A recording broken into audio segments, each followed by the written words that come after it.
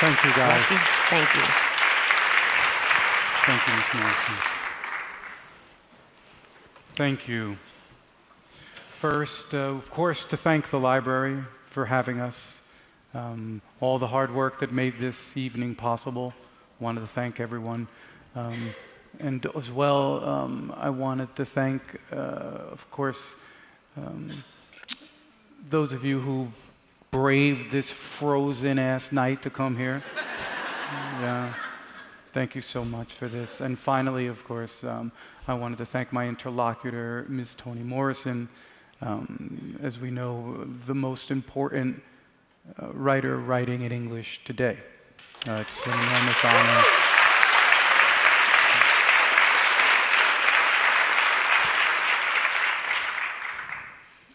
I thought I would just give you a little outline of how this is going to go, yeah?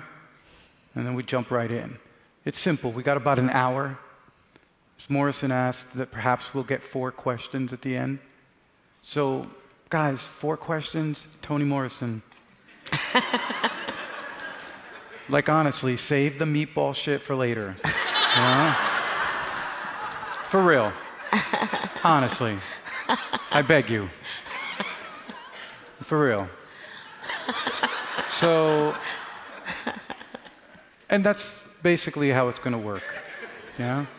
Um, Ms. Morrison, I, I, again, I wanted to thank you. Um, I'll keep my preamble as limited as possible. I mean, for me, of course, I think I speak for many of us. Um, certainly, the axis of the world shifted for me when I first went to college. I, will never forget um, my first class, first semester, first week at Rutgers University. And it was a class with me, uh, with Abena Busia, and she was teaching, oh. Professor Busia, and she was teaching Song of Solomon. Ah. And uh, the axis of my world shifted, and it has never returned. Yeah. Um, and so. As an improvement, you mean? Yeah, much, much warmer and brilliant place I am in now. Yeah. So I wanted to say that, but then I just wanted to just jump right in.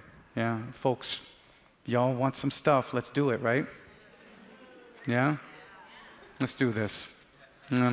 Guys, uh, especially for the young folks out there, I think it's okay not to pretend that you got everything memorized. So I don't give a damn how uncute this shit looks. I'm gonna read. All right? For real. I'm gonna read. I said to someone earlier, the terror strips away about four fifths of your brain. So, yeah. And because, uh, look, and because we're talking about Toni Morrison here, the breadth of the career means that it's perhaps wise to focus in certain specific areas. Yeah, I wanted to begin, of course, um, by talking about uh, a part, and we'll get warmed up, move towards some heftier things, I would think. But I wanted to talk about a part of your career, I think, that doesn't get much light. Um, certainly, I think the, the younger generation doesn't really know to wear so much of um, your work for many years as an editor. Uh, oh. For many years, you were perhaps with perhaps the most important editor for African diasporic letters in the hemisphere. Um, if I can just sort of read, um, if I can read some of the things, you were an editor at Random House, where you edited black artists and thinkers, Gayl Jones, Toni Cade Bambara, Angela Davis, Henry Dumas, Muhammad Ali, Huey P. Newton, George Jackson. Not quite George Jackson. No, George, you didn't get George in there? No, no. His mama said no. Oh, I always thought blood in my eye was yours. No. no. Yeah, and I wanted to ask you about that time and about that part of your life. Um, it was a mission, I think. For me, I spent a year right after I left teaching at Howard University. I spent a year in a school textbook company, L.W. Singer, for one year, which had already been purchased by Random House. And so I came there. And uh, when I began to write uh, seriously uh, at L.W. Singer, uh, I didn't really think a great deal about publication for myself. I assumed that the company hired me not to write books, but to edit them. So I was very quiet and I didn't tell anybody. And I went to another publishing house. But nevertheless, the job at Random was extremely important to me because there was a lot going on. As you remember, in the late 60s and 70s, even the 80s, I wasn't able to participate politically that is running up and down the streets and parades and with a megaphone. But I thought it would be a shame if that information was not in a book, the history of it. So uh, I made it my business to collect African Americans who were vocal, either politically or just writing wonderful uh, fiction. And it was a little difficult um, for me at first because there were no agents, you know, the people who show you the books. You have to go sort of look, ask. There were a couple that I knew. And there was um, African American man, Charles, who had been at Random House anyway before I got there and who had sort of paved the way and then moved on to do his own publishing elsewhere. But um, knowing uh, that if somebody brought me something like Henry Dumas, who was already dead by the time I published him, or to have Angela Davis come in and want to, you know, write her autobiography with me, uh, those were extremely important events, and it, I felt it was my duty to make it right. I um, was not very happy. Uh, well, I wasn't happy at all with the way I thought other publishers edited and produced African American work. I thought the editing was sloppy. I thought the productions were mishandled. Even the great books like uh, Roots and things, you know, when you read them carefully, you see that nobody was paying any attention. Uh, so, anyway, enough about me. I. Oh no, I, I want. Wait, wait, wait. I just want. I just wanted to follow up on this because I do think it's not. Um, I think it's sort of extraordinary because if you kind of look at the hit list of folks that you were um, editing, at folks whose work that you helped in many ways to canonize, yeah. I mean, it's extraordinary. You had a view into black America that I don't think many people had such a broad access. I mean, you were sitting across where the texts, you have someone like Muhammad Ali, who apparently gave you lots of trouble um, for the book, and then someone like Angela Davis. I mean, it was an extraordinary vision. And you mentioned something just earlier in passing um, that this was viewed as highly politicized. Mm. That apparently there was something you one day looked at at your office, and I was wondering if you could just share sort of how that, how you felt to be in that time when there was such a deep, you know, reaction to the black civil rights movements um, and you yourself were actually publishing these people who people were saying these are goddamn communists, these mm-hmm. are traitors, these right. are people who are trying to overthrow. And some people kind of said, yeah, I'm trying to overthrow the country. Right, right. No, I, um, I always felt that the narrative that African Americans, particularly political ones, told, if they were manipulated by or in the hands of the mainstream publishing, it was going to automatically be restrained and it wasn't going to be totally obvious. It was sort of like Frederick Douglass and those slave stories. You can feel them withholding mm. because they're writing for abolitionists and they don't want to upset them too much. Um, and that gaze and that control, it, to me, is obvious. It's even there in some African American fiction, or I can feel that gaze that they're really not talking to me. You know, if you write a book and call it Invisible Man, invisible to whom? Hmm. Not me. So that's already a wonderful book that still has that other gaze. So I'm looking for projects that come from within, are unapologetic about what they are, what they're saying, and what they intend for other African Americans or anybody else to know. So, you know, I was not looking for Muhammad Ali to publish. He had already signed a contract with Random House. I have to tell you, he didn't give me a bit of trouble, but. Oh. Damn internet. but I tell you, who did give me some trouble was his mm. co author, who was Herbert Muhammad. Oh. internet. I have to say this. This is a funny story. But I was his editor, and he was being a co-writer who was really, really good. The book is out. The book is ready. We're getting ready to do a big tour. Um, Ali comes into the office of the room. The salesmen are there, the editor in chief, all the guys. They're overwhelmed.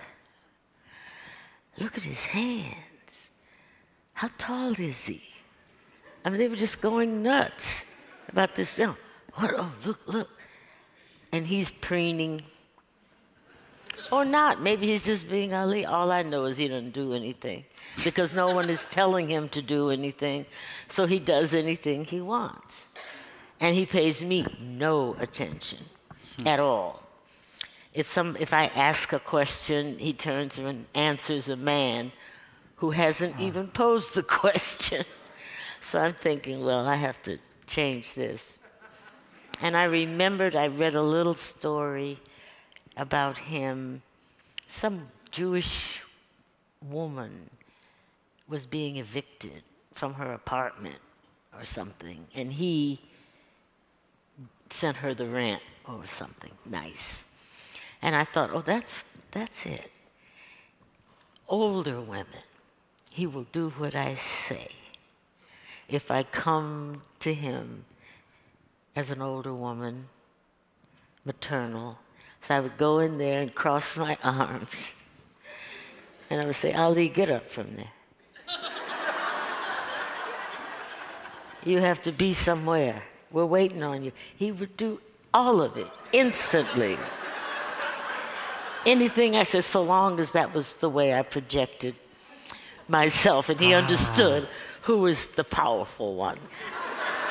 Brilliant. Brilliant. And, and just because I think it's, it's important to underscore that, I, even with this, what you were saying just now about shifting the narrative center of the telling, the very fact that you were sitting across from these writers as a sort of a strong kind of North Star to say, listen, you don't have to write by default to a white audience. Mm-hmm. I mean, I would think that just what you said really unlocked a lot of these books. I think the reason so many of these books are still important, so many of these books are embedded in the canon, mm-hmm. has to do with that very, very subtle shift at the heart of them, I would argue, that they were facing you, that they were writing you, and that in fact, in the heart of these books is the unspoken premise that there is a black woman as the reader. True. That's true. And um, particularly in the fiction, the political work you couldn't always decide. I knew who Angela Davis was, and everybody sort of knew what she thought. But when you get somebody like, uh, I don't know, Gayl or uh, Toni Cade or Dumas, even though I never had a relationship with him because he went, but he had stacks of manuscript that Eugene gave me. And um, finishing Toni Cade's last book before she died. I knew exactly what she would say. She was already there, you know, in that attitude about to whom she was talking, you know. She never, I never had to encourage it, but with some of the others, you could just indicate that they don't have to, that's not really the audience, and it wouldn't be private. You know, it would be like being Tolstoy. You're Russian, and you write for Russians, not for little colored girls in Ohio. However, it applies. You know, once you take your own area in your own soil and dig deep into that, and if you're good enough at it, it's available to everybody. you don't have to direct it at a, a vague audience that you think is perhaps not yours. Yeah. And the greatest, I mean, for me, perhaps the greatest novel of female friendship, and certainly the most singular novel of black female friendship, is Sula. Uh-huh. And I was interested in that because, you know, when I talk to my students, I'm like, give me a list of 10 novels about female friendship. And they're like, Sula.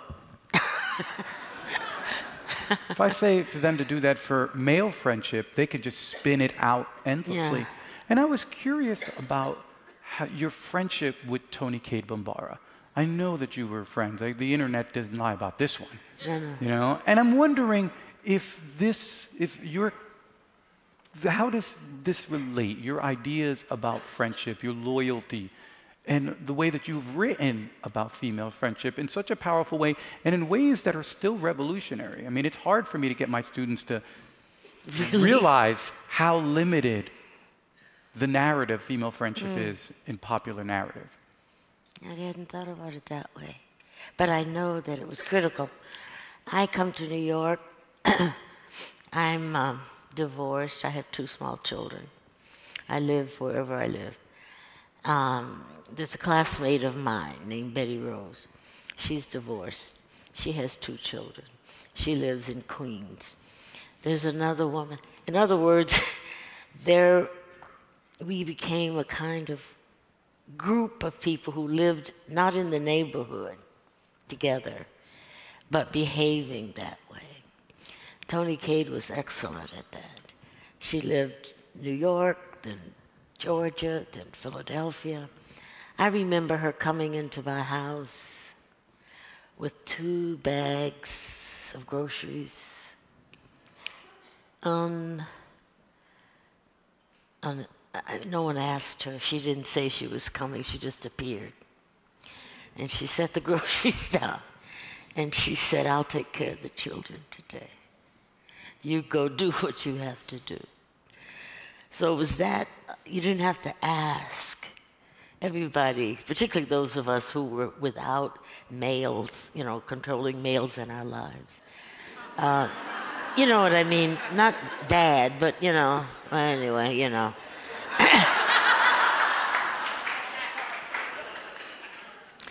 and there was a kind of singularity uh, and that intimacy, that instinct, knowing exactly what a sister needed before she could even articulate it, was what was so important. So when I found out that Toni Cade could write, you know, it was just like, uh, it's an amazing thing. Her, she had done a book called The Black Woman, I think, an anthology or something. But when I met her, she was doing this collection of short stories. And they've been put around a lot. Raymond's Run. What was the name of that first collection? Um, Gorilla, My, My Love. love. Which, uh, that's a lovely story.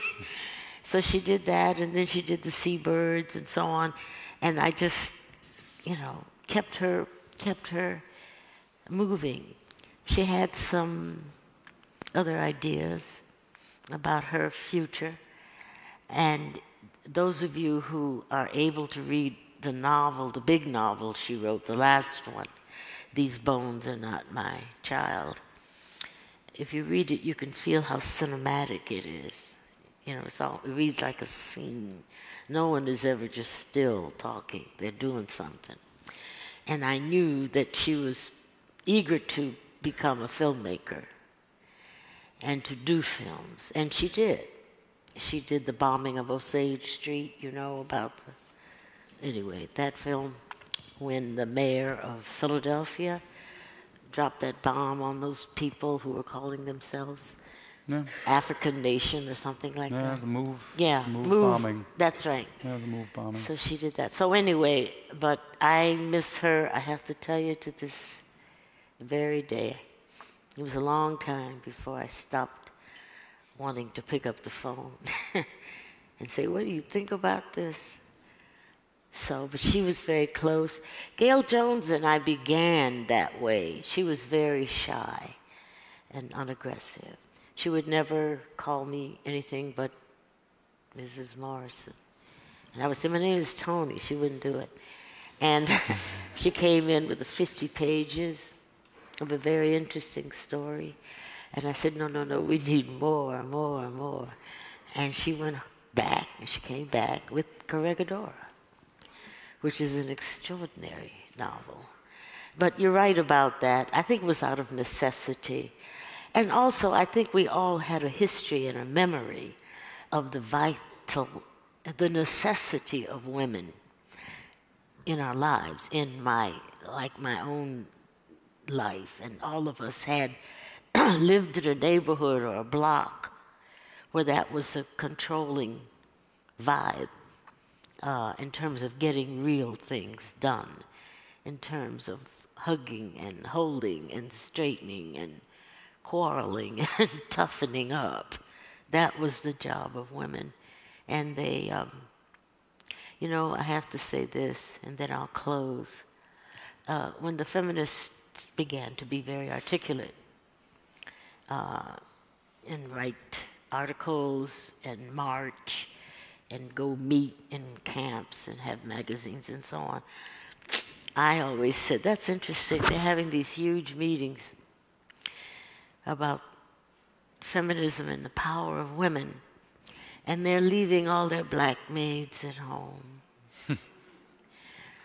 but that was indeed that separation, which was a race separation and perhaps even a class one, was very pronounced to me.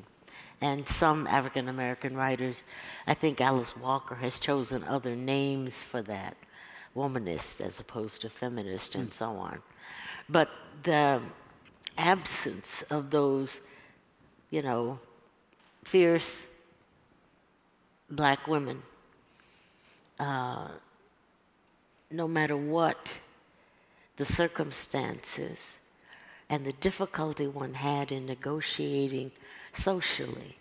You know, I go into a house of a, I don't know, somebody of stature, and they introduce me to their housekeeper.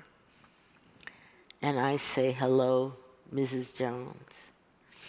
And then I'm spoken to later by the mistress of the house, who says, Why did you call her Mrs. Jones? I call her Hattie, says the woman. And I say, I would never call a woman of age by her first name. Never. So those differences were pronounced culturally and racially and so on. And I wanted to make that clear when I was accumulating, particularly the works of uh, African American women writers. Extraordinary. Yeah, I, I'm, I'm always struck with that. Um, you know, I, I, I, again, it's, this is a culture that overemphasizes that sort of heteronormative thing that for women, the most important relationship of their lives is going to be the dude that they're going to fall in love with, as if everybody is straight and that this is, you know, this is the script. And yet, look, from my, just my experience as a brother, my sister's longest, most painful heartbreak was a Sula like heartbreak where it was like the most important relationship of her life was a woman. And yet she never had a space to acknowledge or honor it until it was all over. And that idea of the controlling male or the controlling paradigm Mm-hmm. that tends to leave that story out, I think is very, very important. I always knew my sister was in trouble whenever she started reading Sula religiously.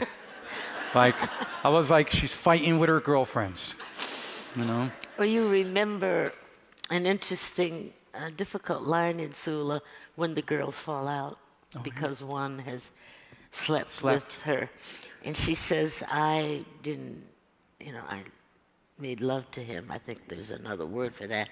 but I didn't kill him. Yeah, I didn't, I didn't kill him. What are you upset about? He's still alive. Yeah.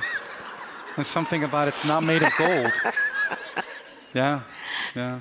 And I, I, I think those characters, again, it's just something that runs through you, something that you said about um, characters that are dangerously free. Yes. I think yeah. that that's a perfect example of a character that's dangerously free. when we look at Song of Solomon, of course, we have guitar. Oh, yes. a character who's like dangerously free. And I'm like always wondering because these are these are figures who show up in our diaspora, and yet again, one has to really strategize to write these and to capture and to evoke such a complex. And to be honest about it, uh, about the danger they face and the danger they are. Um, and at the same time, you, you're not, you know, striking an X through them because they're dangerous. There's something admirable, at least I felt, for those characters, uh, and a kind of um, not so much pride, but a certain kind of clarity, uh, knowing in my own family men like that who were uh, vulnerable, dangerous, and yet they were somehow ours, you know. They weren't the other. So you do have empathy for their choices, some of which are bad, very bad choices. But nevertheless, you don't abandon them. Because I'm wondering, so it's, you think it's uh, from your experience? Because it is such an extraordinary, I mean, that concept of these characters that are dangerously free. Um, and when you read the books and you counter these guys, you're always like, for those of us who live in this world, the shock of recognition. Mm. There's that moment where you're like, oh shit, my uncle. you know? Or, oh, there goes my sister. right. But was this, so do you think this came out of the, this came out of exposure in your life, or is this something that you have circled around these kinds of people? In other words, is this something that you find a central preoccupation, or just came out during the writing? Some of it is people I knew uh, growing up, men and or women, but most of it is the latter. Um, the act of writing, for me, is you really do get to know the characters really well. Um, some people say, uh, I mean, writers have all sorts of ways in which they think that mystery happens. For me, they're sort of like ghosts. Uh, they're palpable. I know what they look like, although I may not describe them. They talk. And if they're not talking to me, then I don't have their names right or something's wrong. But I can hear them and their speech, what they say, what they think. And I don't want to sound too goofy, but it's, it's like you really know. Some of them you have to shut up because, like other ghosts or all ghosts, they don't have any conversation except about themselves. So I remember that was very true with Pilate. Oh, Pilate, my God. I had to just shut her up because she was eating up the book. She was really eating it up, and I, it wasn't about her. I mean, she was in it, but it was the Song of Solomon. she was part of that, but she was really taking it.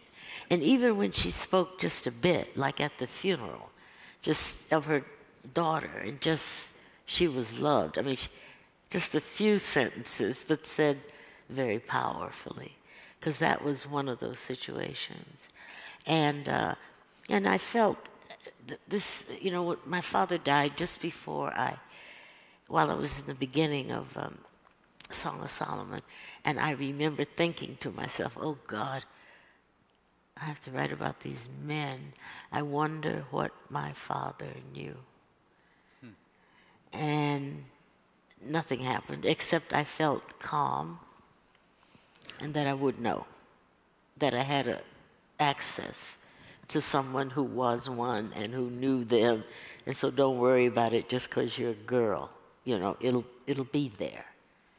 And it was true for me in Song of Solomon. Yeah. No, I, you know, it's, it's funny because coming from the Caribbean and sort of that kind of African diasporic sort of Caribbean culture of respectability where people, you know, my mom always says, it's like, my mom will iron her skirt to go shoot you. Yeah, right. she's like, she's like, mm, my hair looks good. Right. Now I'm gonna kill you. You know. I think that what's extraordinary of coming from you know that African diasporic moment of which there's great diversity, but from that Caribbean moment where there were so many restrictions and so many things about appearances, and there's been this such an enormous history of containment and of non free. Right. That when these characters appear both in our lives and I, again, when they appear in your fiction, it is a delirium of like, wow, this is yeah, this nothing is casts, nothing reflects how deep the shadow is till someone like Pilate or Cholly in the bluest eye appears. Yeah, I know. If I always think like characters like this appear to remind us how heavy the chains are. Indeed, you know? yeah. Indeed. I love Cholly. Ah. Yeah. Well, I was going to just um, sort of switch and ask you a question about something that, again, comes up. Um, I, again, if I, I, kind of grew up in one of those worlds where, um, you know, the question of the human was always in the air in my family. Yeah, my mother was always like, if you did the slightest thing that stepped out of bounds, that confirmed that you were an animal.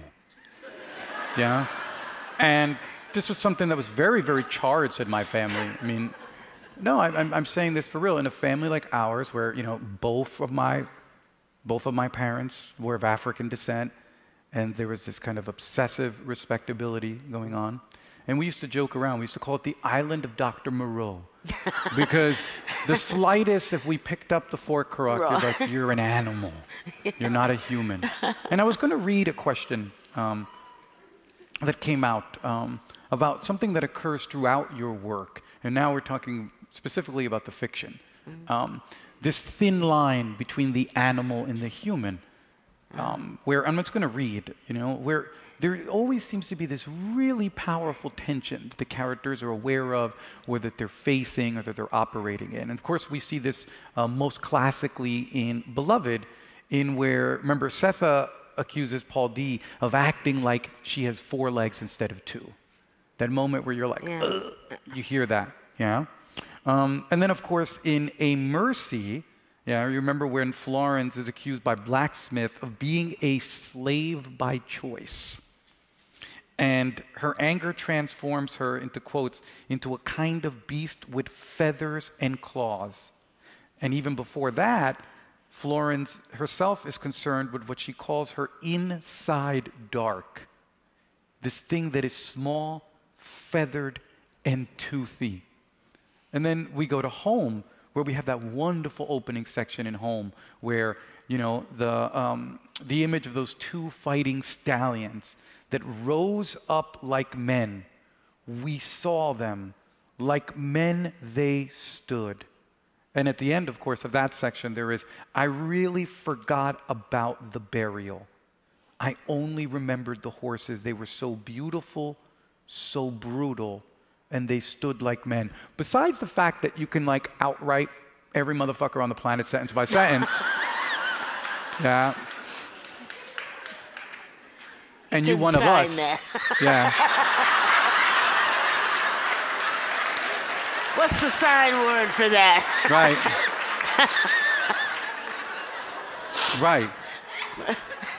besides, besides that little fact, that little fact that always puts me to bed comfortable, no matter what the hell's going on in the world, I'm always lay in bed and I'm like, yeah, the best writer in the world is of African descent. Peace. so,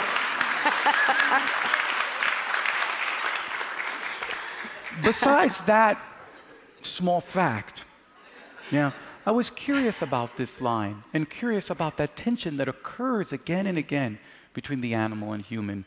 I mean, does that strike you as completely insane that I. No, no, no, no, no.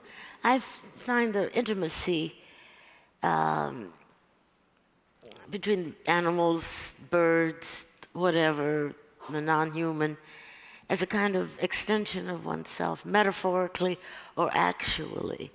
Uh, when Paul D is in that chokehold with those prongs hanging out and he's on his way to prison, that rooster that he took out of the shell uh, birthed him in a way, grew up, and now the rooster is more free yeah. than he is.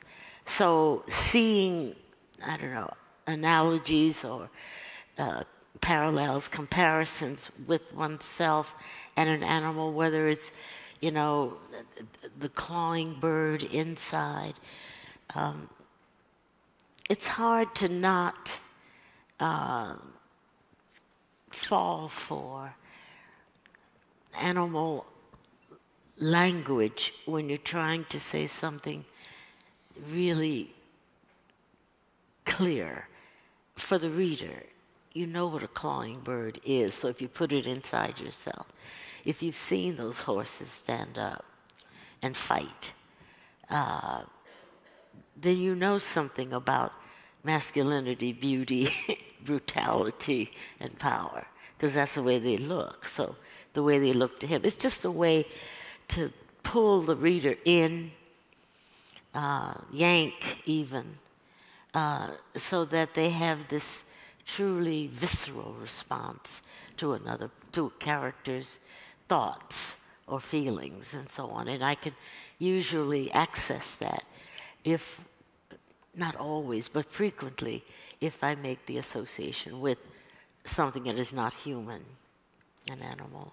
Yeah, no, it's, it's one of the things that, I mean, again, it's, it's an extraordinary, it's just beyond just the weight of your sort of metaphorical language. I think it, it speaks also very closely to, for me, it always feels that like it's, there's something extraordinarily important about people who spend their entire historical life being compared to animals to then reclaim yeah, the ability to engage the natural world mm. as a positive metaphor. Because mm-hmm, mm-hmm. I spent my whole life, whether it's my family or white folks outside, being like animalizing Don't us. Be you know? Yeah, right. Yeah. No one to claim that. Yeah. As part of being human is the relationship or the metaphorical language or the parallels or what have you. So it wouldn't be estrangement. You are animal like, but to bring it into the discourse and the imagination as positive, or at least clarify. Yeah. I wanted to just touch two other areas and see then if we can perhaps, if there's a few questions. yeah. Yeah. I mean, especially, I, I kind of wanted to touch on Beloved for a second. I feel like, you know, we got to talk just a, a, second on Beloved. Sure. There was this wonderful, like, little in one of the prefaces of one of the reprints where you say, um, around 1981, I was fired or quit Random House. and I think my question is, which was it? but more importantly, less gossipy, could of Beloved have been written if you had, if you had been working? No. No, I, the reason the fired quit thing, I, the books that we have extolled that I edited were not on bestseller lists, which is to say they didn't make any money. So I was there for 19 years, so that's pretty long. But eventually I began to edit part time, one day a week I would come into the office. I began to take one day off and teach at Yale. And they said, Well, what are you doing taking one day off teaching at Yale? And I said, Well, nobody edits anything in here on Fridays. All you do is get on the phone or have lunch or something. So it's not a productive day. So they sort of agreed with that. But subsequently, so anyway, when I left, uh, I remember going home happy that I didn't have to go to work, not even frightened about not having a job.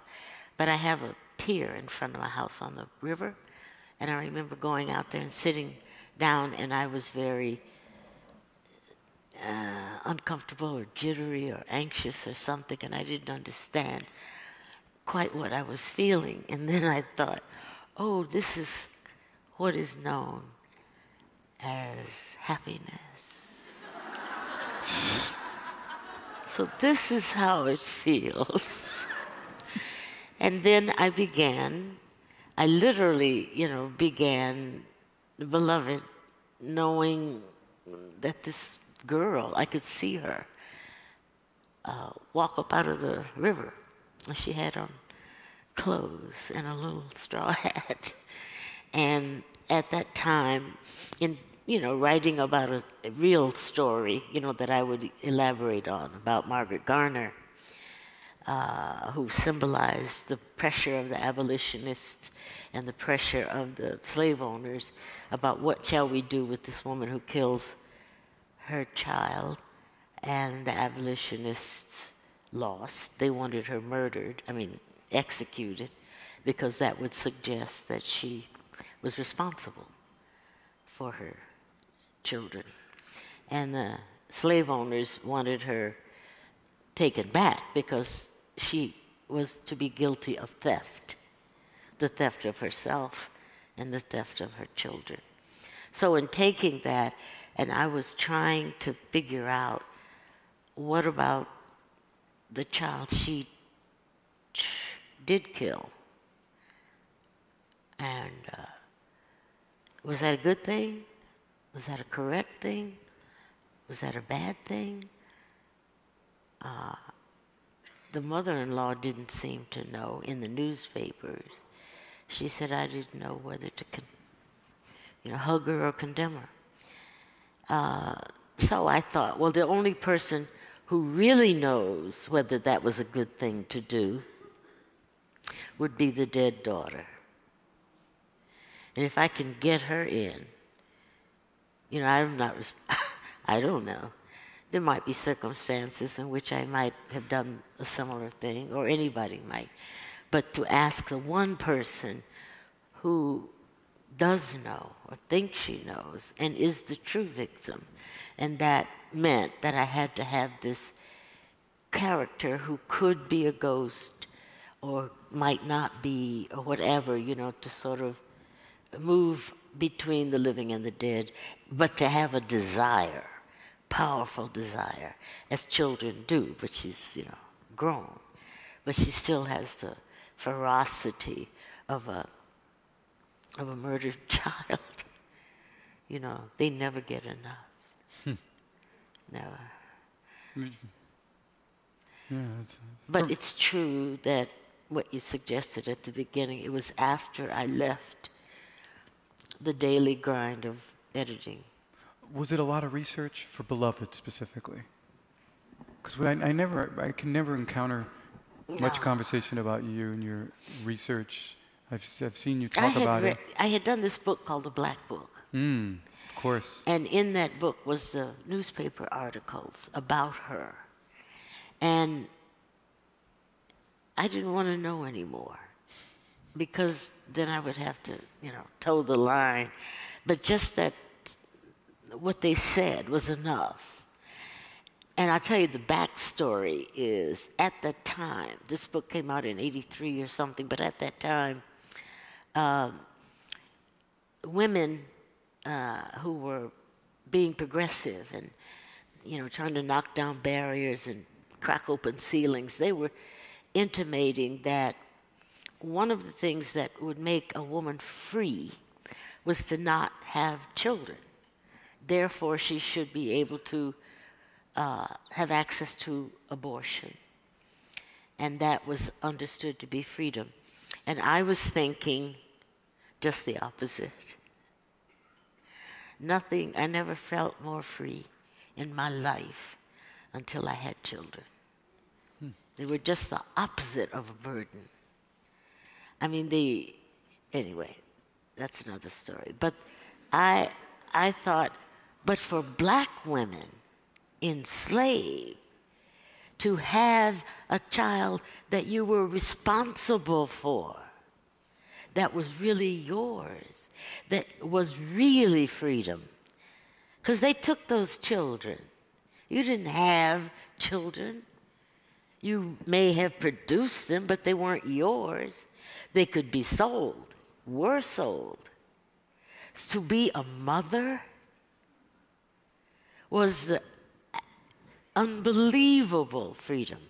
And so when Margaret Garner cut that girl's neck, she was saying, This child is mine. And to claim her, even if it had to go and become bloody, nevertheless, that was the that was the freedom, that was the uh, ability, that was the mothering. So it was just the opposite, you understand, of what some of the discourse was about the nature of freedom for contemporary women as opposed to slave women. Yeah, I was wondering because you know it's especially um, were you in the process of writing Beloved? I specifically think of the moment for me that was most suggestive and most shattering. Um, there's that just abhorrent moment and what I think the book, at least for me as a reader, sort of suggested is this horrid moment where um, Sethe's being milked by school teacher. Uh-huh. And her husband is trapped above. Yeah, is trapped above. She herself is being horrifically violated. Her body and her subjectivity, she's the one experienced this violation. Her husband witnesses it but she survives to restructure herself to integrate that loss. And he's shattered by it. Mm, he can't survive that. Were you aware of how, what an extraordinary, like, guide to reality that would present for many readers? I mean, when I think of, when I think, guys, when I think about gender in my family, half the shit that the women in my family endured, just the minor shit, would have broken all of us men.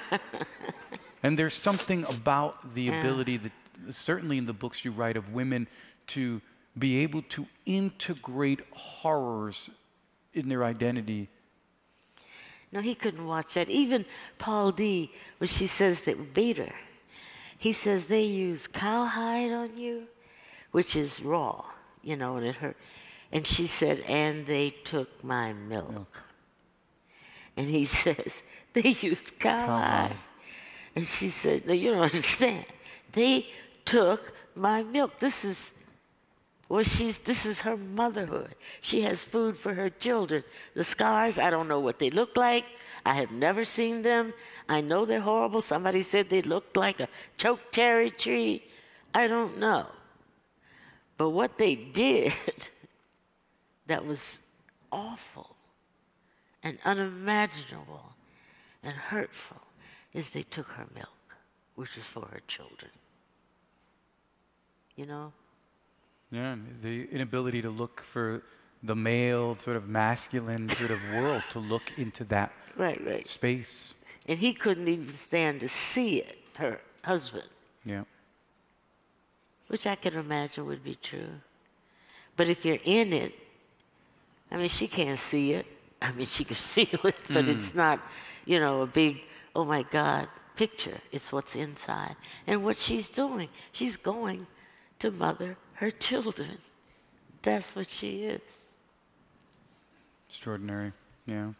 You guys wanted to um, sort of talk about something that, again, you've touched on before, but I think it's sort of worth bringing up. And it's, of course, the, um, the opening of paradise. Uh-huh. Yeah? And a concept that you sort of plant, um, which is this idea about, you know, sort of this idea of kind of race. Do you remember this uh, uh, concept of very much race free, but um, race specific, yeah. yet race free? Yeah. I mean, what is it for me? I guess, and especially with the confusion of the opening page and how readers are themselves, I think, often uncomfortable yeah. Yeah, with this. Well, I I had written a story some years ago called Recitatif. Oh, yeah. Is it true that that's your only published story? Yeah. Fuck. It's the only one. wow. And uh, I thought it would be interesting to write about these two girls in an orphanage and who grow up to be women and use all of the cultural clues but confuse them so that the reader doesn't know which one is black and which one is white. And that was a language problem for me, you know, just withholding uh, color, withholding hair, withholding features, withholding all sorts of things. Um, so by the time I got to uh, writing Paradise, I had seen this thing in the Black Book again newspapers, and there were I don't know, 50 African American, what they call colored newspapers out there in Oklahoma. The whites were running out to get land. They, you know, killed all the Indians, ran them away, and then the United States go people this land. And there were a lot of ex-slaves and free slaves doing the same thing, and they established these black towns all over Kansas and Oklahoma. And they had these newspapers, and I was reading them, and they frequently said, almost all of them, they were trying to attract freed slaves to come to the territory. And uh, they almost all said, come prepared or not at all. Hmm. Come prepared and not at all. Don't, you know. So I thought, uh, what would it feel like to just end up out there after you walk from Mississippi or Florida or whatever, and then have some other Negroes tell you you can't come in. Hmm. This is for us because you don't have any money. It sounded sort of familiar, contemporary. And so I thought, and then I saw pictures of them, the town fathers in the newspaper, and they were all very pale, you know, light skinned colored men. So I organized this black town uh, who were like my great grandmother, which I will tell you about. She was very tall, pitch black. She came to our house and she looked at us and she said we'd been tampered with.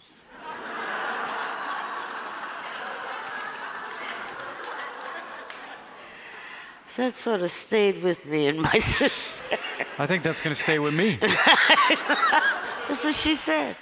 So I thought, okay, so suppose there were other people like her who felt the purity, the blood purity of Africans, you know, as opposed to these eh, mixed people.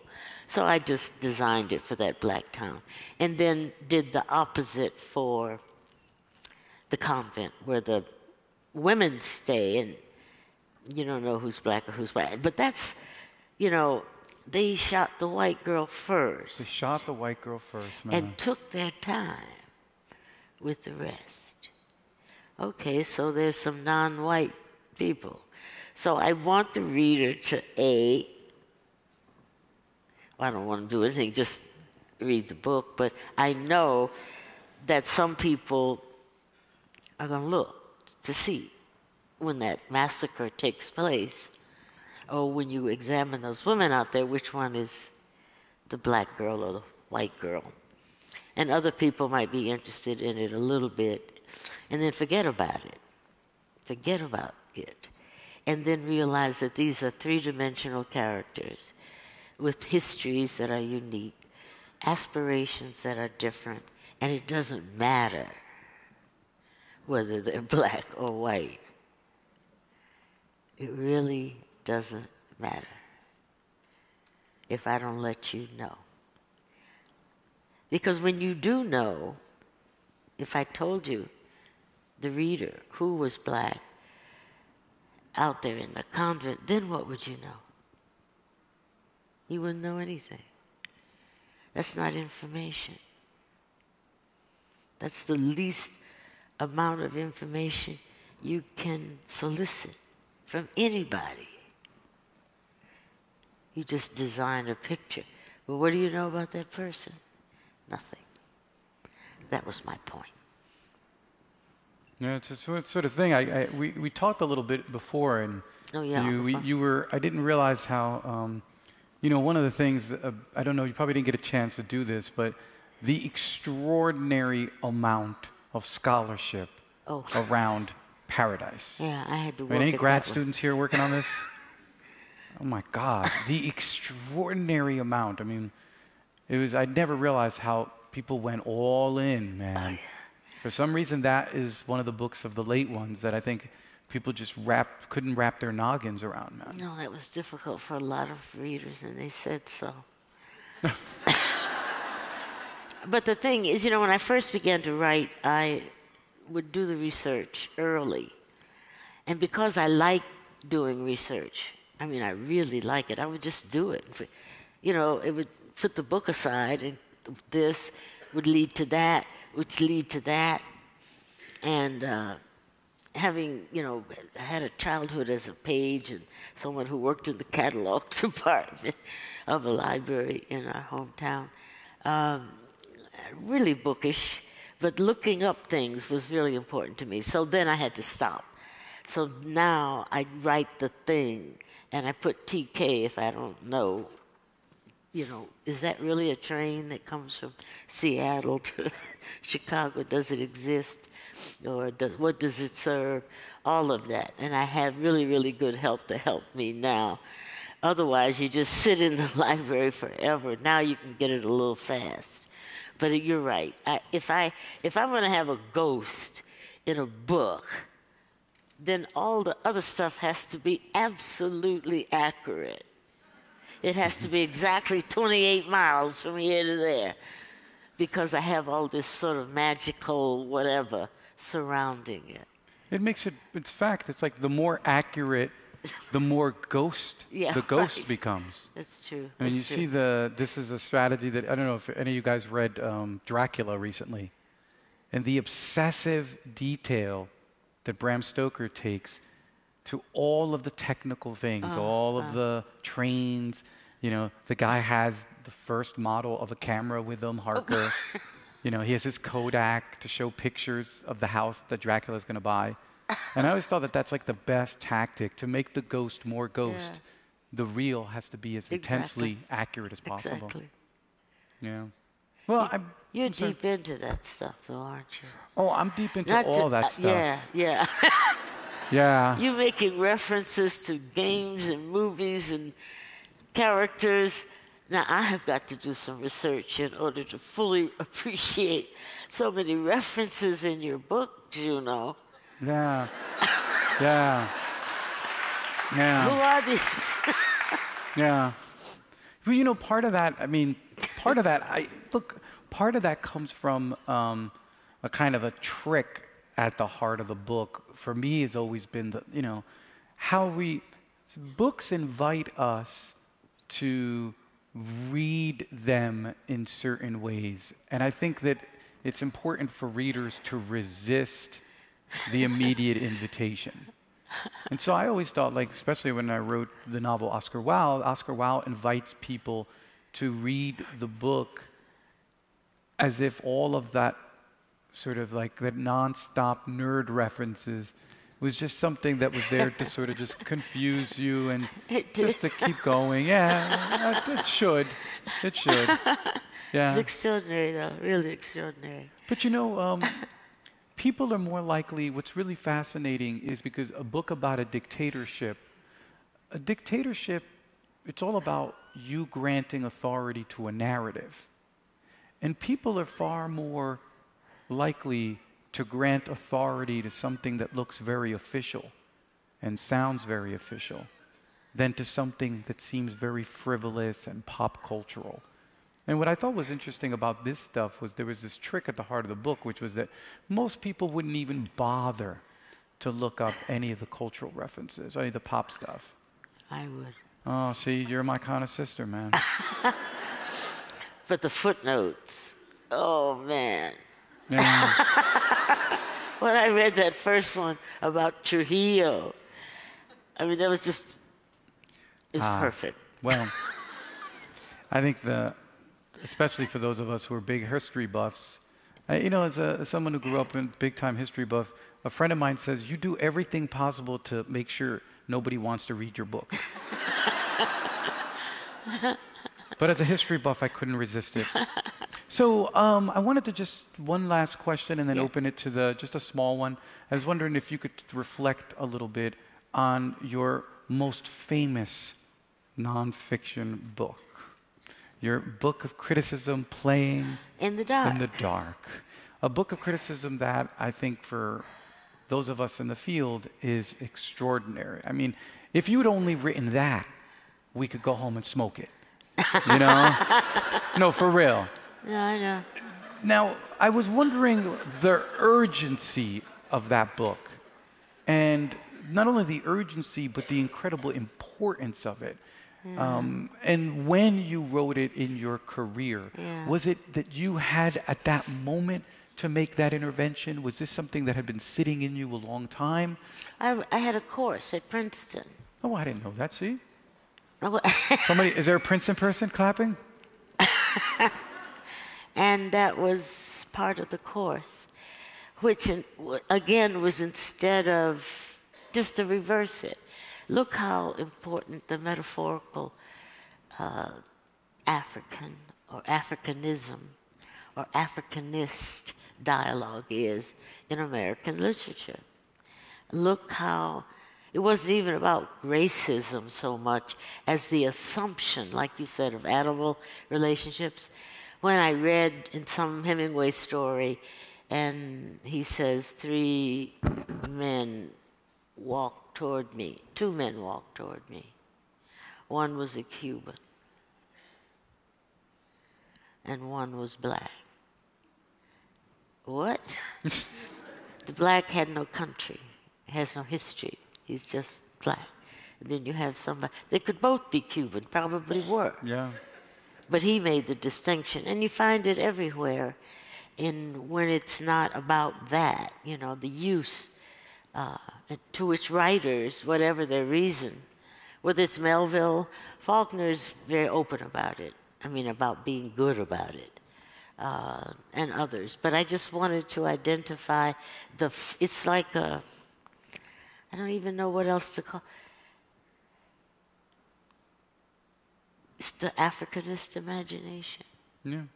that's just there for the it's available it's true about gender as well you know but that's so obvious that it didn't seem worthwhile but then i took those lectures and gave them at harvard and uh, nobody was particularly pleased No, no. mentioning mentioning the fact that white supremacy exists is a way to guarantee yourself that you have no friends. It seems, you know. Well, not only was the uh, established white faculty uh, befuddled, I'll say, but the black faculty also, because what I was doing was moving them away from African American texts and looking at routine white text. So at that initial point, you know, it was a little, what on earth is she saying? And then it became clearer and clearer, I think, as people really began to take me out of it and just, you know, read the book. And now I know that it has uh, a reputation for being significant in the academy.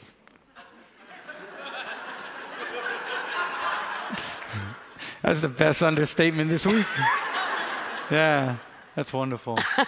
Yeah, I, I mean, I think for many of us, for many of us, again, um, I mean, this is what's sort of extraordinary the, the sort of range and the depth of the talent is that for me, it's, it is a, one of the most monumental counterattacks on the white supremacist imagination, which Uh. implicates all of us. Yes. You know, I just, it's, it's a book that, like most of your books, I, I don't, can't imagine surviving the world without.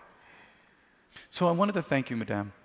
And I wanted to ah. turn this over for our good, good questions, yeah? All right? So a hand of applause, please, first.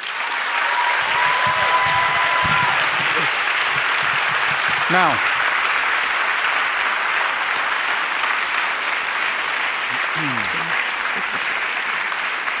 Paul.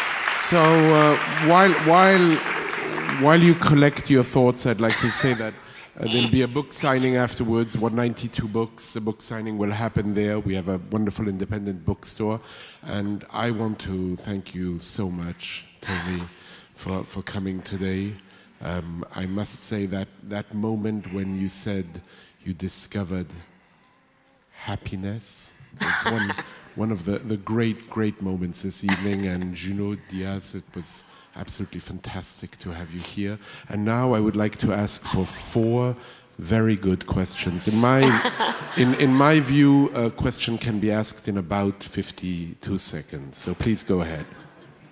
And uh, just to make this even Come more... up to the mic. Thank you. And just to make this even more difficult and so that people feel even more pressure, I was hoping we could at least two of the questions could be from people under the age of 30. And two of them at least have to be from women. So you've eliminated one of the male questions. I hope it's good. Um, first of all, one of the best literary experiences I ever had was you read uh, Beloved to me as an audiobook, and Oh, it's, it's the only way to consume that book.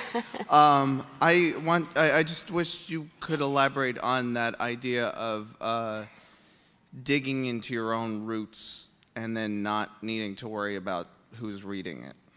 I'd like to just hear more about that. Thank you. Thank you. Well done. I um. I just, you know, I I read a lot in my life. I probably forgot most of it, but I read a lot of. Uh, uh, I'm a classics minor. Uh, I read the standard English, European books, and so on. And there was something very specific culturally about many of the books. Why I got such a kick out of them uh, has something to do with the art. And it wasn't playing to. I mean, I don't mean that generally, but it was not a play. Uh, when I began writing Thula, The Bluest Eye, a lot of books that were successful, or at least had headlines, were written by young African American men, which I call them the Screw Whitey books Ah, yes. and it was all you know, which not was not illegitimate. Uh, and uh, and I was saying, yeah, yeah, yeah, and then I thought, wait a minute.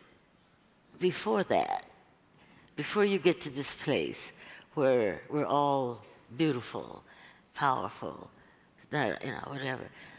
I want to remind you what it was like before, when that kind of uh, when racism hurt and could kill you if you believed it. The self loathing was destructive. You know, I just want to get the history straight. Therefore, I did the bluest eye. And the rest of it was me trying to write not for uh, the oppressor. You know, if he's sitting on my shoulder, looking at everything I do, judging it, I have to filter through that. That's not free. That's somebody else's story. So the deal was to get the little white gaze away and see what was left and to write that way to satisfy you. Extraordinary. Not sure if I'm tall enough for this mic at all, but I will do my best. Um, I need my notes. So thank you in advance for pardoning my notes that I'm bringing with me. Um, so I'm in my first year as a high school English teacher at a school in New York City, a small public school. And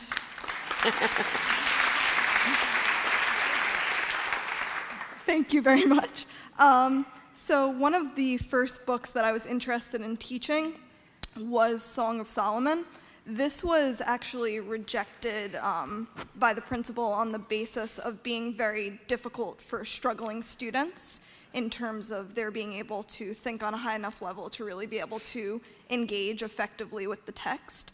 Um, my approach to this was that issues of race and the power of names and family histories that you focus on in the work are very important and very relevant to students in general, and particularly my group of students mm-hmm. that I'm working with.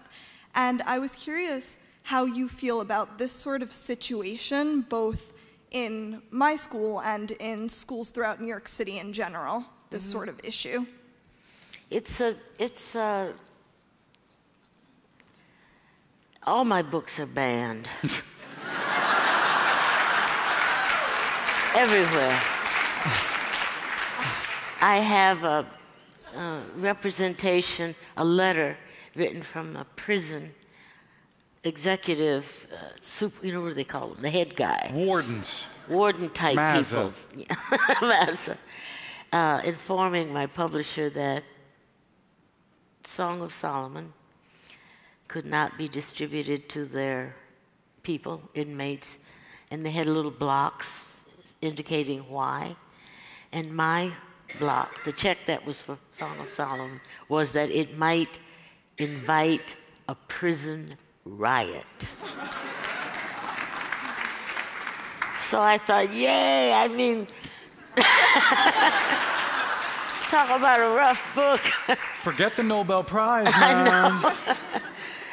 I don't know what to recommend. I think A Mercy might be an interesting book for your students because A is short, but also it's before racism,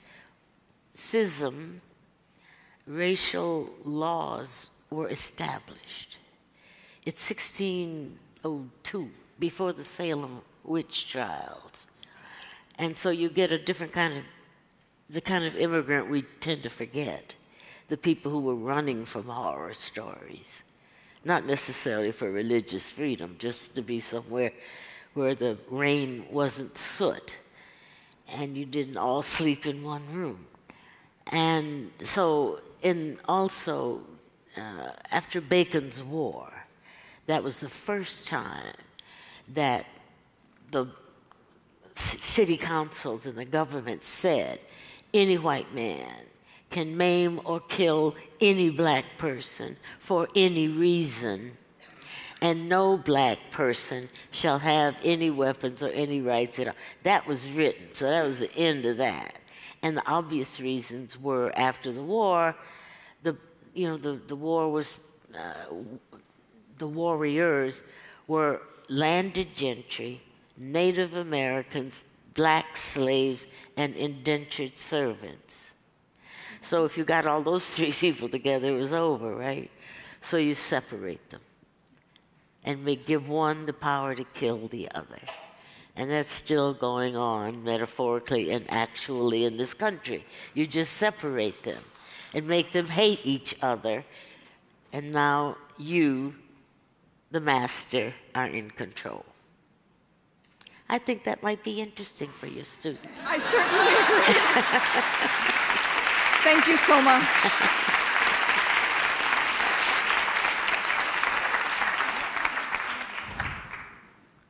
First of all, I just wanted to say this has been an incredible experience. You, oh, you thank just you. you recite poetry. It's wonderful. Thank you very much. Um, you've touched a little bit on the use of the supernatural in your books, and I was wondering if you would just talk a little bit more about that, about the value of it and the meaning of it, and the ways that you make use of it. Uh, using supernatural in the text is um, useful but it's not totally mechanical because I grew up in a family where, uh, among very shrewd people uh, and very, you know, outrageously honest people, uh, and very, very poor people. But part of their, part of what they talked about and believed had to do with what we call ghosts or extraterrestrial and so on. Firm belief. Um, and the stories they told us, uh, which they would repeat, and then when we were old enough, we would have to tell the story. Same story. We might edit it a little bit, change the ending a little bit, but it would be that story. And they were all ghost stories, scary stories. And after they told them, they said, okay, go to bed. you go up these little dark steps. uh, but, you know, most children's stories and poems are violent anyway. So that was, they had integrated ghost life or spiritual life as well as the spirits into everyday life. It was seamless, you know, for them. And there are lots of anecdotes I can tell about such things uh, that were helpful. You know, they could explain certain things. So that was part of it. The other part was to take that mindset, that philosophy, into the text, the magic, which was real. You know, my grandmother used to play the numbers, and she would ask me in the morning, What did I dream? And I would tell her, and she would look in the dream book and find the number and hit until she stopped or my dreams got lunatic or something. Uh, and it, it, I don't know, it, it, it was, I wanted to say colorful, but it's more than that. It's living in a vibrant world that's not just your little house and your little eviction notice and your, you know, somebody sent you some, we used to call it relief instead of welfare, which I like much better than welfare. Relief sounds like just a little while, some relief till you can get yourself. Well, sometimes the meal had worms in it, you know. So, so there was that seriousness of life, but it, but it was peopled with a certain amount of magic and fantasy that they did not put aside as a kind of an entertainment thing. It was part of their life. So, in many instances, I wanted it to be uh, part of the text of several of the books that I have written.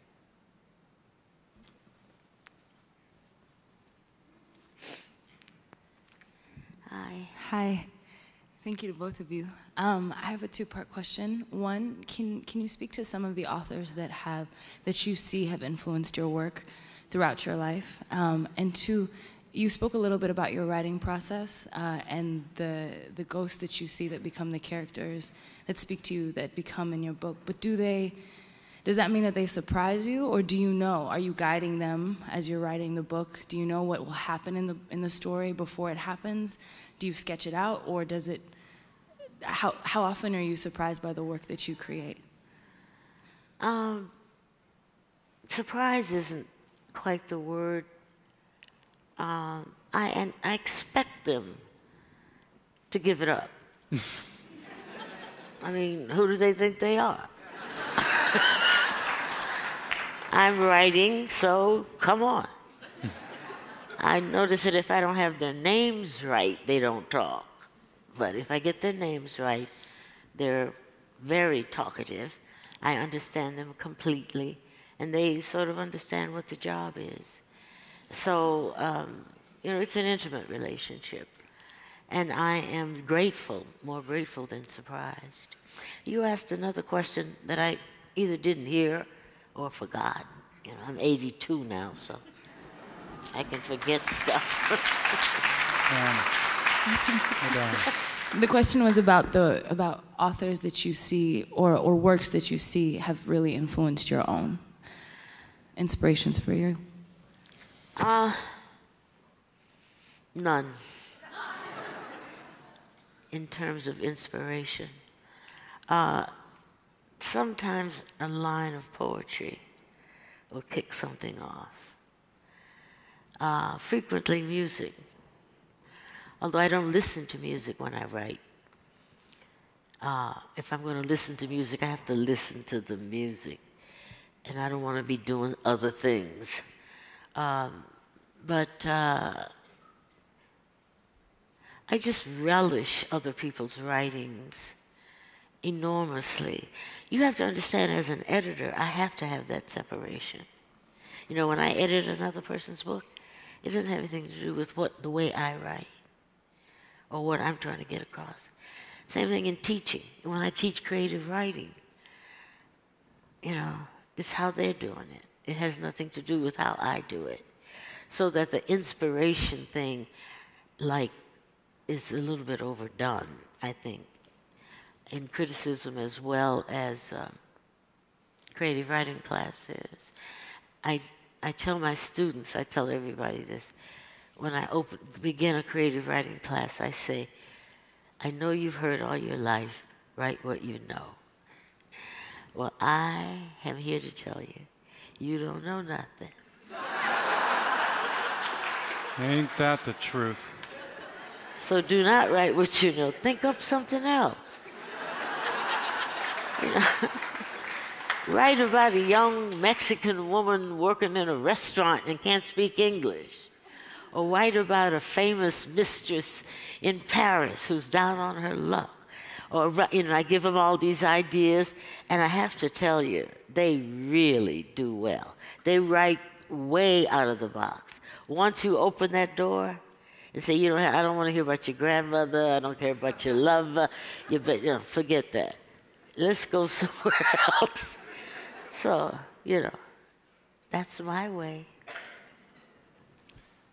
Toni Morrison.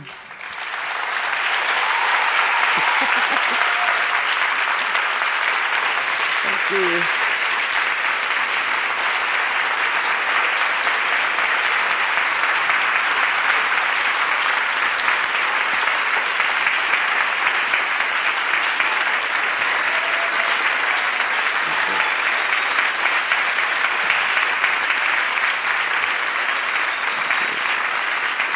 Madame, It's a pleasure. You could have come to the Yes. reception.